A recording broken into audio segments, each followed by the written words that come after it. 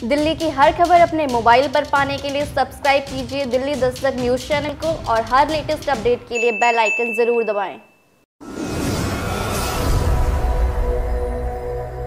दिल्ली में हुए नगर निगम उपचुनाव में आम आदमी पार्टी की भारी जीत से आज कोटद्वार के कार्यकर्ताओं ने पटाखे फोड़कर और मिठाई एक दूसरे को खिलाकर खुशी का इजहार किया।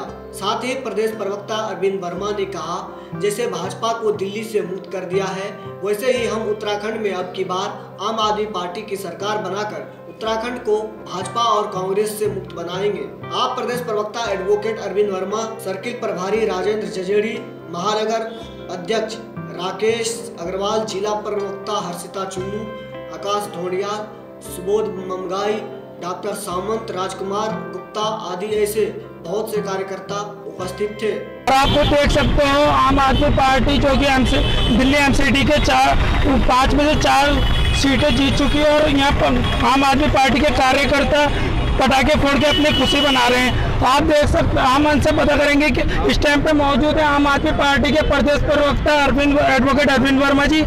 ये जिस हिसाब से खुशी मना रहे हैं, हम इनसे पता करेंगे कि आप लोगों को कितनी खुशी है। सर, आप बताइए आम आम आदमी पार्टी ने दिल्ली में जो चार सीटें जीती है, आप यहाँ पटाखे फोड़ के खुशी मना रहे हैं। आप बताइए आपको कितनी ज़्यादा खुशी है? देखिए, हमारा परिवार जीता है, हमारी टीम जीती है और सभी कार्यकर्ता पूरे उत्तराखंड में इसी जोश के संग काम कर रहे हैं।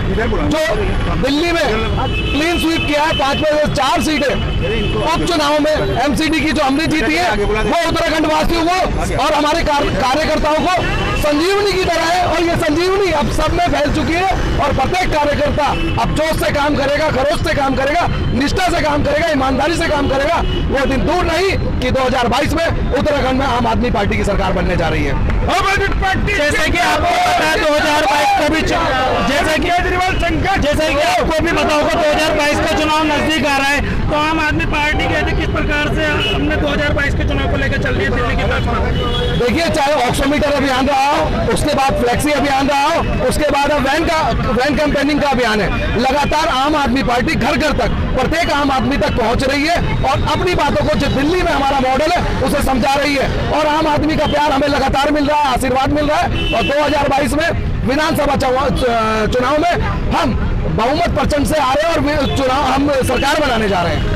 ये थे हमारे साथ में एडवोकेट अरविंद वर्मा जी, प्रदेश प्रवक्ता ऐसे हम। एक और कार्यकर्ता, कहते जिला प्रवक्ता हर्षिता चुनू जी से पता करेंगे।